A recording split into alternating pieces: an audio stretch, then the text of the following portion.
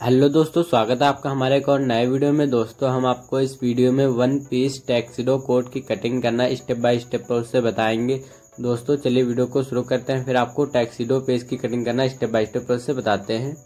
इस तरह से आपको एक इंच पे मारिक लगा लेना है कपड़े को सीधा करने के लिए। इस तरह से इस वाले इंसान को आपको सीधा कर देना है। फिर आपको इस तरह से स्टेप को रखते हुए कोट की लेंथ का निशान लगाना है। कोट की लेंथ से आपको आधा इंच इस तरह रखते हुए निशान लगा देना इस तरह से। फिर आपको दो इंच इस तरह से निशान लगा देना है। यहाँ पे आपको सीने के चौथे हिस्से पे निशान को लगाना है।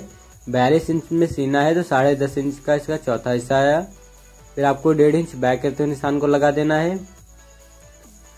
ये निशान आपको हैवी साइज़ का कोट है तो इसमें उन्नीस इंच पे लगेगा। दोस्तों, नहीं, नॉर्मल तो सोलह सत्रह पे लगता है केवल। इस तरह से उन्नीस इंच पे निशान लगा देना है आपको। यहाँ पे आपको पौने दो इंच पे निशान लगाना है। इस तरह से स्टेप को रखते हुए किनार से आपको पौने दो इंच पे निशान लगा देना है। इसमें भी आपको पौने दो इंच पे निशान लगा देना है। यहाँ पे आपको डेढ़ इंच का निशान लगा देना इस तरह से। फिर आपको इस वाले निशान से पौना इंच निशान लगा देना इस तरह से। फिर आपको इन सभी निशानों को सीधा कर देना है।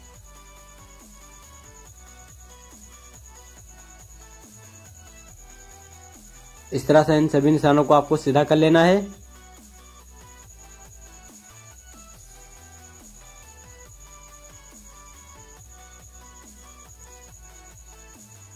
फिर आपको इस वाले निशान को इस तरह से यहाँ तक सीधा कर लेना है आपको।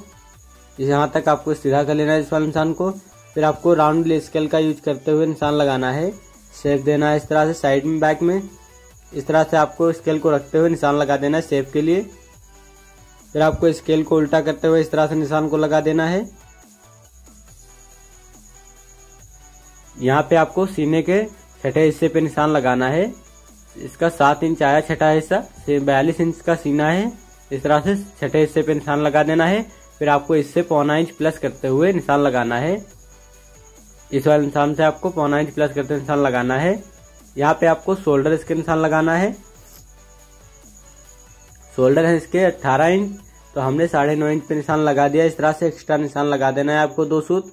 फिर आपको पौने दो इंच पे निशान लगा देना है इस तरह से। फिर आपको इस तरह से निशान को इस तरह से रखते हुए क्रॉस बैक का निशान लगाने लेना है आपको। इस तरह से आपको क्रॉस बैक का निशान लगाना, आधा इंच एक्स्ट्रा करते हुए निशान लगा देना है। फिर आपको क्रॉस बैक का नाप देख लेनी है कितनी है क्रॉस बैक इसकी तैयार। इस तरह से निशान आपको बाइक की शेप में देना है, इस तरह से साइड की शेप में आपको इस तरह से निशान को दे देना है।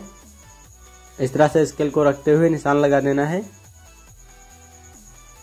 इस तरह से आपको अच्छे से मिला लेना है निशान को। इस वाले स्केल से आपको ये निशान को लगा लेना है।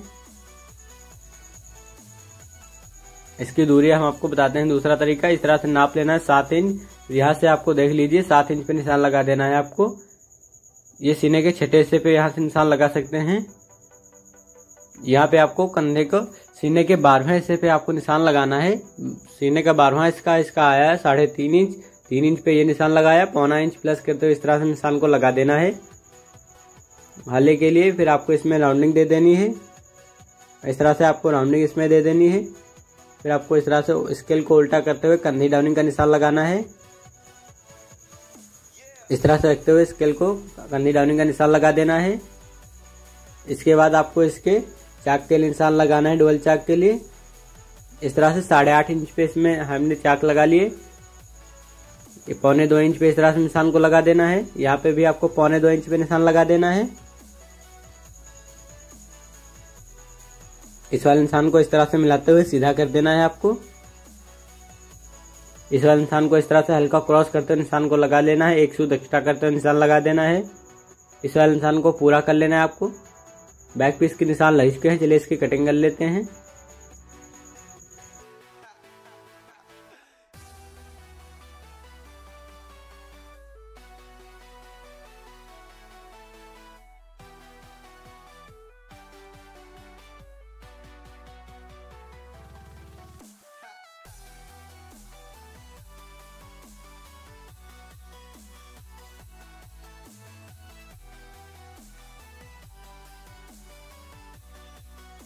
कटिंग हो गई है इसकी।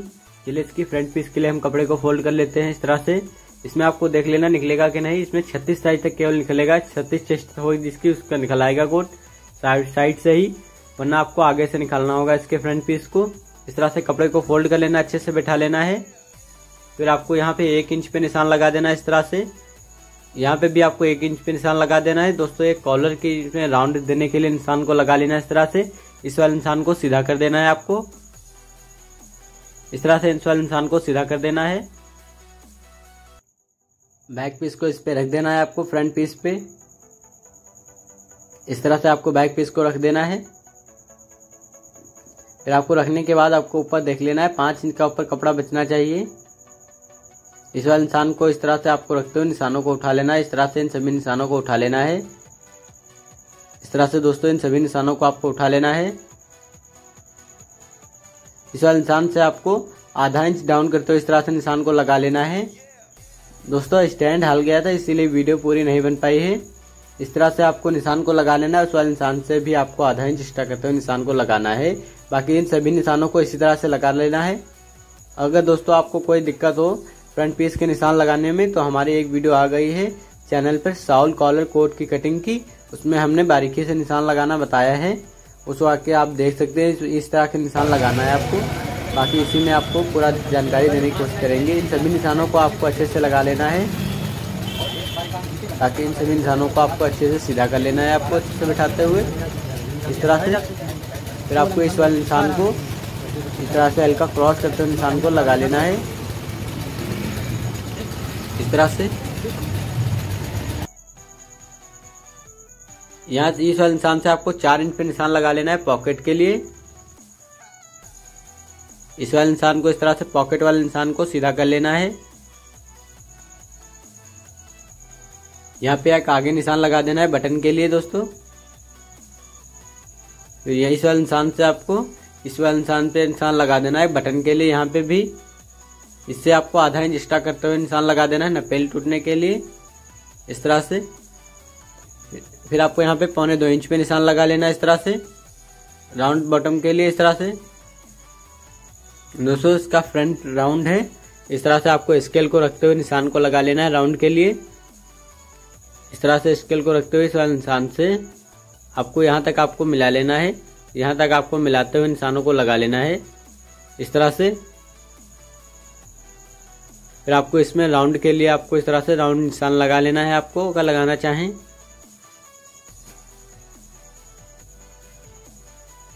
फिर आपको यहाँ पे आपको पौने दो इंच पे निशान लगा लेना इस तरह से। यहाँ पे आपको सीने के बारहवें हिस्से से आधा इंच कम करते हुए निशान को लगाना है। इस तरह से साढ़े तीन इंच का सीने का बारहवा हिस्सा, फिर आपको तीन इंच पे इस तरह से निशान लगा देना है। इससे आपको पौना इंच इस तरह से डाउन करते हुए निशान को लगाना है। इस वाले निशान से आपको पौना इंच डाउन करते हुए निशान को लगा लेना है। इस वाले निशान से आपको इस वाले निशान तक मिलाना है नपेल के लिए। इस तरह से इन सभी निशानों को मिला लेना है आपको नपेल के लिए। इस तरह से आगे तक आपको सीधा कर देना है। इस तरह से इन सभी निशानों को आपको लगा लेना है।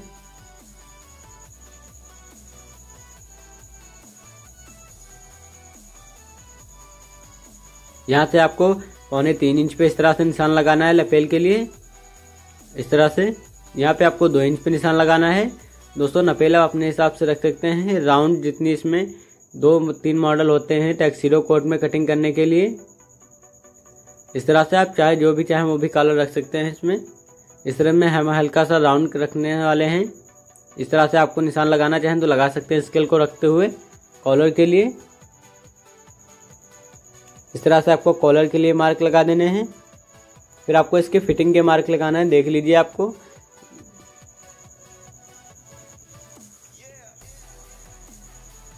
जो आपने बैक पीस को भी कट किया, उस पर आपको इस तरह से रख लेना है।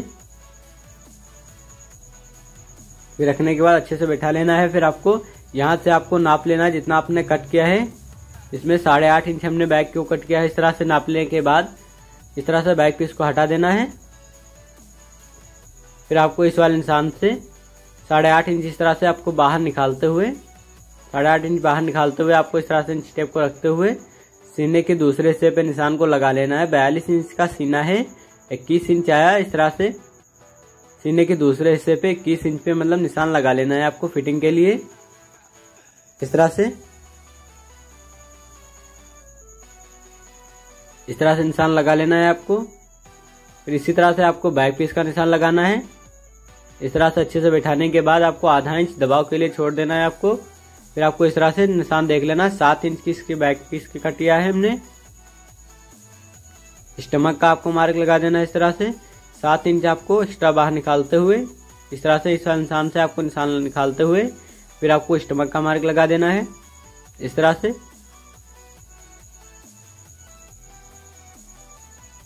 इसी प्रकार से आपको हिप का निशान लगाना है, इस तरह से। कपड़े को आपको बैठा लेना है।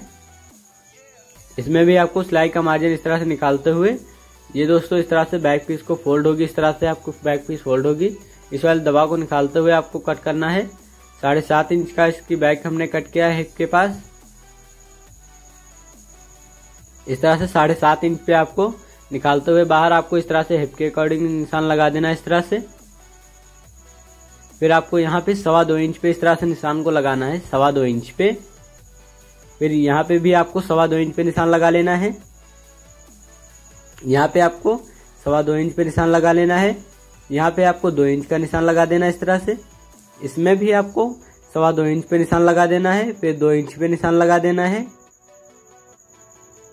फिर आपको इस वाले निशान से सीने के छठे हिस्से पे निशान को लगा लेना है। इस तरह से सात इंच इसका छठा हिस्सा आया, सात छंग बयालीस, इस तरह निशान को लगा देना है। फिर ये तख्ती वाले निशान को सीधा कर देना है दोस्तों, ये तख्ती का निशान है। इस तरह से इस वाले निशान को सीधा कर देना है।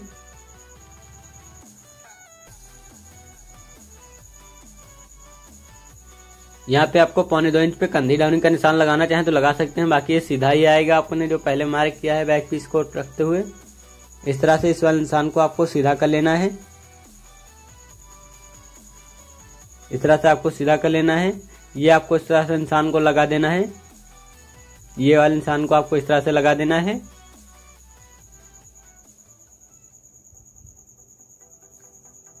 इस तरह से इस वाले निशान से आपको दो इंच पे निशान लगा देना है। दोस्तों, अगर नॉर्मल है तो आप इसमें डेढ़ इंच पे लगा सकते हैं। हमने इसमें दो इंच का निशान लगा दिया है इस तरह से। इस तरह से आपको पौना इंच प्लस कर निशान को लगा लेना है। इस वाले निशान से आपको इस तरह से नाप लेना है। बारह इंच का आया तो इसमें एक इंच कम करते हो इस तरह से। बारह इंच से एक इंच कम करते हुए निशान को लगा लेना नीचे भी।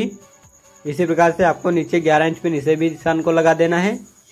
फिर ये आपको निशान को सीधा कर देना है इस तरह से। इस वाले निशान तक आपको मिलाते हुए सीधा कर देना है।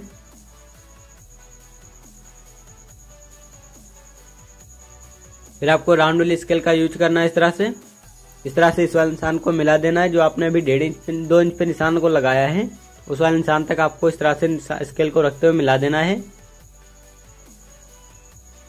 यहाँ पे भी आपको इस तरह से स्केल को रखते हुए, पटरी को इस तरह से रखते हुए आपको निशान को लगा देना है। ये इस तरह से आपको राउंड इसमें दे देना है। इस तरह से आपको राउंड शेप में निशान लगा देना है हल्का। इस तरह से।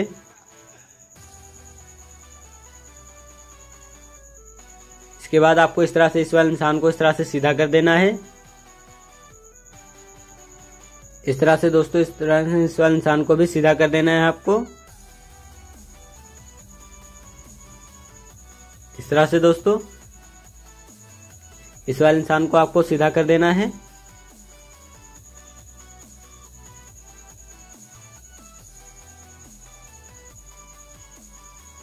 फिर आपको इस वाले निशान को लगाने के बाद, इस वाले निशान से आपको, फिर आपको दो इंच पे निशान लगा लेना है। इस वाले निशान से आपको आपको आपको पॉकेट का निशान लगाना है। इस तरह से चार इंच पे पॉकेट का निशान को लगा देना है। इस वाले निशान से आपको चार इंच पे पॉकेट का निशान को लगा देना है, फिर आपको पॉकेट वाले निशान को सीधा करना है। इस तरह से स्केल को रखते हुए आपको पॉकेट वाले निशान को सीधा कर लेना है। फिर आपको पॉकेट के बीच सेंटर का निशान लगाना है। इस तरह से इंच टेप को रखते हुए बीच सेंटर का निशान लगा लेना है आपको। फिर आपको नाप लेना है। यहाँ से आपको स्केल को, इंच टेप को रखते हुए टोटल नाप लेना है आपको। सवा छः इंच आया तो इस तरह से यहाँ तक नाप लेना है आपको, सवा छः इंच पे।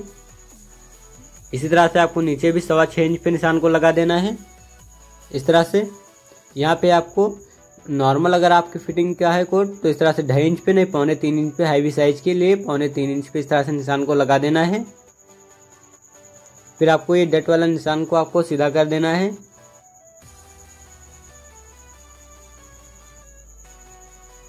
यहाँ से आपको एक इंच पे निशान को लगा देना है। यहाँ से आपको पॉकेट से एक इंच एक्स्ट्रा करते हुए निशान को लगा देना है इस तरह से। इस तरह से पॉकेट के एक इंच से एक्स्ट्रा करते हुए निशान को लगा लेना है।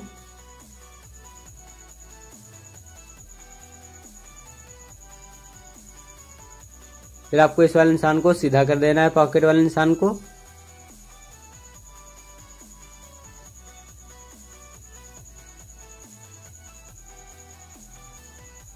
यहाँ पे आपको पौने दो इंच पे निशान लगा लेना है फ्लैप के लिए। इस तरह से पौने दो इंच पे निशान को लगा देना है। यहाँ पे भी आपको पौने दो इंच पे निशान को लगा देना है। फिर आपको ये फ्लैप वाले निशान को आपको सीधा कर देना है इस तरह से। इसमें दोस्तों राउंड फ्लैप है तो इसके राउंड का निशान लगाना है आपको। इस तरह से स्टेप रखते हुए निशान को लगा देना है। राउंड निशान लगा देना है आपको फ्लैप के लिए। इस तरह से इस वाले निशान से आपको सवा इंच पे निशान लगा देना है। यहाँ पे भी आपको सवा इंच पे, नीचे भी आपको सवा इंच पे निशान लगा देना है। इस तरह से बैक पीस को आपको इस पे रख देना है। इस तरह से इन इस तरह से आपको निशान को रखना है। ये इस वाले निशान को आपको मिला लेना है। रखने के बाद आपको इस तरह से अच्छे से बैठा लेना है, निशानों को मिला लेना है। फिर आपको इस वाले निशान को कॉपी कर लेना है इस पे। इस तरह से इस तरह से इस वाले निशान के आपको निशानों को पेस्ट कर देना है इस पे। फिर आपको इस वाले निशान को इस तरह से सीधा कर देना है। इस तरह से इस वाले निशान को सीधा कर देना है आपको। इस वाले निशान को आपको पूरा कर लेना है। फिर आपको इस वाले निशान को इस तरह से मिलाना है आपको। इस तरह से राउंड स्केल का आपको यूज़ करते हुए निशान को लगा लेना है इस तरह से। इस तरह से निशान को लगा देना है आपको। यहाँ पे आपको हल्का सा राउंड दे देना है।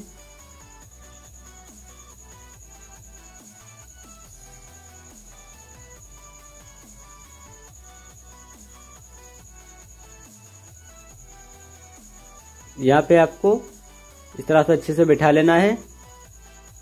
यहाँ पे आपको सिलाई का मार्जिन निकाल देना इस तरह से। आधा इंच सिलाई का मार्जिन आपको निकालते हुए इस तरह से अच्छे से बैठाने के बाद आपको इस वाले इंसान तक आपको बैठा लेना है। इस तरह से। फिर आपको इस वाले इंसान से इस वाले इंसान को आमने सामने मिला देना इस तरह से। मिलाने के बाद आपको इस तरह से इंसान को मिलाने के बाद इस तरह से इंसान को लगा देना है। एक सूद आपको कम करते हुए इंसान को लगाना है, एक सूद कम करते हुए इंसान को लगा देना है। यहाँ पे आपको हाईवी साइज़ के लिए आपको पौने तीन इंच पे, नहीं तो आपको ढाई इंच पे निशान को लगा देना इस तरह से। इस तरह से आपको पौने तीन इंच पे निशान को लगा देना है हाईवी साइज़ के लिए। यहाँ पे आपको इस तरह से राउंड स्केल को उल्टा करते हुए इस तरह से निशान को लगा देना है। रखते रहे, यहाँ तक आपको जो अपने भी निशान लगाया है, पौने तीन इंच पे इस तरह से निशान को मिला देना है। इसमें आपको आर्म होल के लिए राउंड दे देना है आपको राउंड शेप में। इससे आपको दो सूत कम करते हुए साइड पैनल को कट करना है। इस तरह से साइड पैनल को आपको दो सूत कम करते हुए कट करना है। इस तरह से आपको साइड पैनल के निशान को लगा देना है। इस तरह से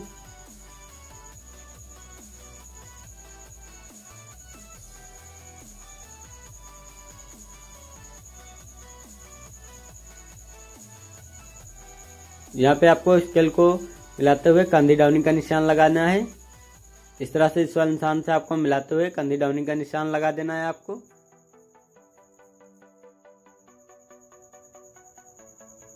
इस तरह से हमें सभी निशान लग चुके हैं। चलिए इसकी कटिंग कर लेते हैं आपको, फिर दिखाते हैं। इस तरह से इस वाले निशान को आपको सीधा कर देना है।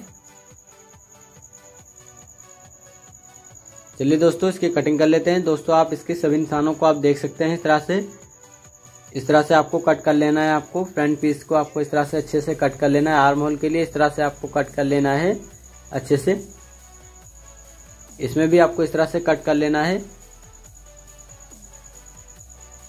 इस तरह से इसमें भी आपको इस तरह से कट कपड़े को निकालते हुए इस तरह से कट कर लेना है इस तरह से कॉलर को आपको कट करना है अच्छे से कॉलर में आपको थोड़ा अच्छे से कट कर लेना है इस तरह से